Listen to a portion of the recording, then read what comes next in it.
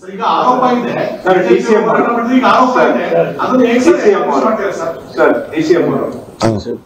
ಅದೊಂದು ಸ್ವಲ್ಪ ಅದೊಂದು ಹೇಳೋದಾದ್ರೆ ಸರ್ ದಯವಿಟ್ಟು ಸ್ನೇಹಿತರೆ ಸ್ವಲ್ಪ ತಾವು ಗಮನಕ್ಕೆ ತರಲಿಕ್ಕೆ ಬಯಸ್ತೇನೆ. ತಾವು ಕೇಳಿದ ಪ್ರಶ್ನೆ ಮಾನ್ಯ ಉಪಮುಖ್ಯಮಂತ್ರಿಗಳು ಇವತ್ತೆಲ್ಲ ಹೋದ್ ಬಾರಿನೂ ಕೂಡ ಪದೇ ಪದೇ ಒಂದು ವಿಷಯ ಹೇಳಿದ್ರು. ಏನು ಅಂದ್ರೆ ಗವರ್ನರು ಪರ್ಮಿಷನ್ ಕೊಡ್ಬೇಕಾದ್ರೆ ಅದಕ್ ಮೊದಲು ಒಂದು ಪ್ರಾಥಮಿಕ ತನಿಖೆ ಆಗಿರ್ಬೇಕು ಅಂತ ಡಿ ಸಿ ಎಂ ಅವರು ಬಹಳ ಬಾರಿ ಹೇಳಿದ್ದಾರೆ. ಈಗ ಡಿ ಸಿ ಎಂ ಅವ್ರು ಏನ್ ಹೇಳ್ತಾ ಇದ್ದಾರೆ? ನಾವೇನ್ ಹೇಳ್ತಾ ಇದೀವಿ? ಒಂದ್ಸತಿ ಪಕ್ಕಕ್ಕಿಡೋಣ ತಮ್ಮ ಗಮನಕ್ಕೆ ತರ್ತೇನೆ, ಭಾರತ ಸರ್ಕಾರದವರು ಸೆಪ್ಟೆಂಬರ್ ಮೂರನೇ ತಾರೀಕು ಎರಡ್ ಸಾವಿರದ ಇಪ್ಪತ್ತ ಒಂದರಲ್ಲಿ ಒಂದು ಗೌರ್ಮೆಂಟ್ನ ಅಧಿಕೃತ ಆದೇಶ ಹೊರಡಿಸಿದ್ದಾರೆ. ಗೌರ್ಮೆಂಟ್ ಆಫ್ ಇಂಡಿಯಾದು ಅಧಿಕೃತ ಆದೇಶ ಇದು. ಏನಕ್ಕೆ ಅಂತ ಹೇಳಿದ್ರೆ standard operating procedure for processing of cases under section seventeen A of the prevention of corruption act ಅಂತೇಳಿ ಸೆವೆಂಟೀನ್ ಎ ನ ಯಾವ ತರ ಪರಿಗಣಿಸಬೇಕು ಅಂತ ಅದಕ್ಕೆ ಒಂದು ಗೈಡ್ ಲೈನ್ಸ್ ಅನ್ನ ಇಶ್ಯೂ ಮಾಡಿದ್ದಾರೆ. ಈ ಗೈಡ್ ಲೈನ್ಸ್ ಅಲ್ಲಿ ಏನ್ ಹೇಳ್ತದೆ? ಇದೇ ಪಾಯಿಂಟ್ ಅನ್ನೇ ಉಪಮುಖ್ಯಮಂತ್ರಿಗಳು ಪದೇ ಪದೇ ಹೇಳ್ತಾ ಇರೋದು ತಾವು ಬರೀ ಉಪಮುಖ್ಯಮಂತ್ರಿಗಳು ಹೇಳ್ತಾ ಇದಾರಲ್ಲ this is an order of government of India ಎಲ್ಲಾ ರಾಜ್ಯಗಳಿಗೆ ಬರ್ ಕಳ್ಸಿಕೊಟ್ಟಿದ್ದಾರೆ. ಯಾವ ಪ್ರೊಸೀಜರ್ ಫಾಲೋ ಮಾಡಬೇಕು ಅಂತ ಹೇಳಿದ್ದಾರೆ. ಪ್ರೊಸೀಜರ್ ಫಾಲೋ ಮಾಡಕ್ಕೆ ಏನ್ ಹೇಳ್ತಾರೆ?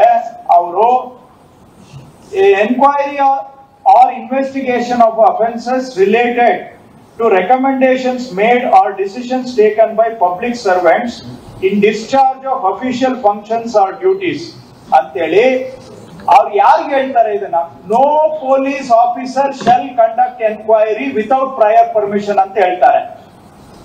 ಅಲ್ಲಿಗೆ ಅರ್ಥ ಏನು? ಯಾರ್ ಬೇಕಾದ್ರೂ ಎನ್ಕ್ವೈರಿ ಕಂಡಕ್ಟ್ ಮಾಡ್ಬೋದಾ?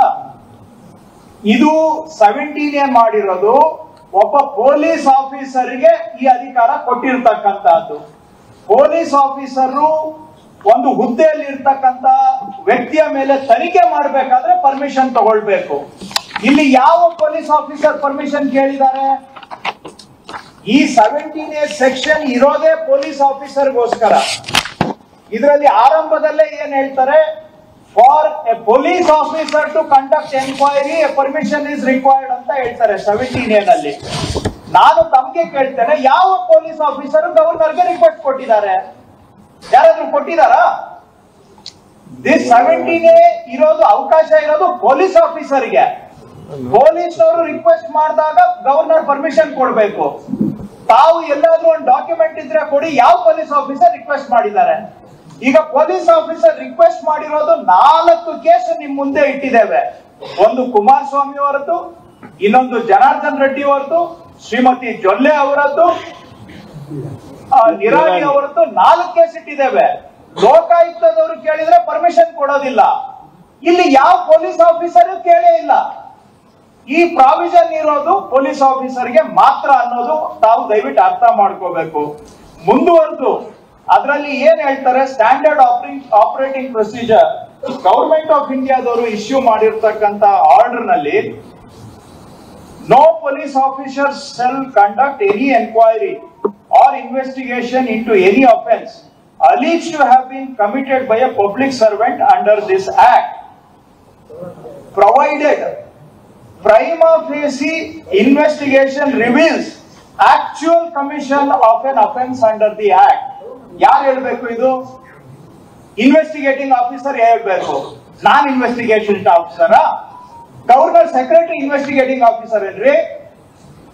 ಯಾವ ಕಾನೂನಲ್ಲಿ ಗವರ್ಮೆಂಟ್ ಸೆಕ್ರೆಟರಿ ಗವರ್ನರ್ ಸೆಕ್ರೆಟರಿಗೆ ಇನ್ವೆಸ್ಟಿಗೇಷನ್ ಪವರ್ಸ್ ಕೊಟ್ಟಿದ್ದಾರೆ ಸ್ವಲ್ಪ ತೋರಿಸಿ. ಈ ಪವರ್ ಇರೋದು ಪೊಲೀಸ್ ಆಫೀಸರ್ಗೆ ಮಾತ್ರ.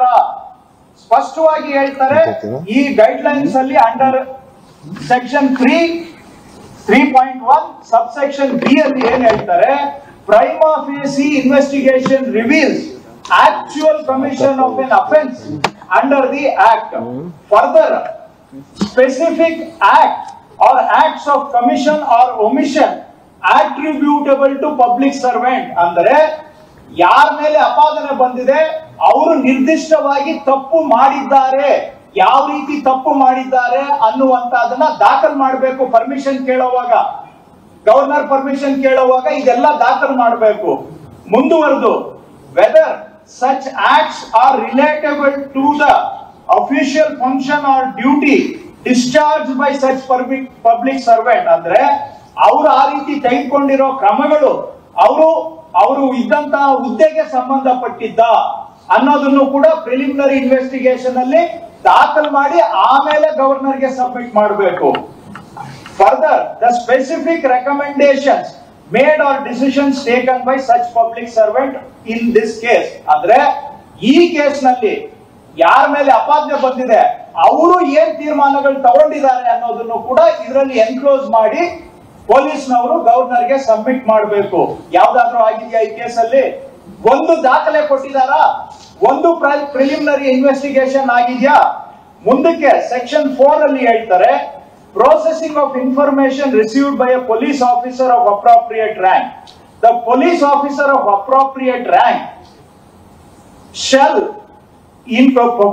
furnish information received and verify merits whether ಈ ಅವರು ಬಂದಿರೋ ದೂರು ವೆದರ್ ಇದು ಇನ್ವೆಸ್ಟಿಗೇಷನ್ ಮಾಡಬೇಕಾ ಇಲ್ವಾ ಅನ್ನೋದನ್ನ ಅವರು ವೆರಿಫೈ ಮಾಡಿದಾರ ಅಂತ ತೋರಿಸ್ಬೇಕು.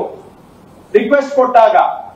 Enquiry for the purpose of these S O verification has to be done whether the information pertains to commission of an offence under this act ಅದನ್ನು ಕೂಡ ಸ್ಪೆಸಿಫೈ ಮಾಡಬೇಕು. ನ್ಯೂಸ್ ಫಸ್ಟ್ ನಿರ್ಭೀತಿಯಿಂದ ನಿಮ್ಮ ಪರವಾಗಿ.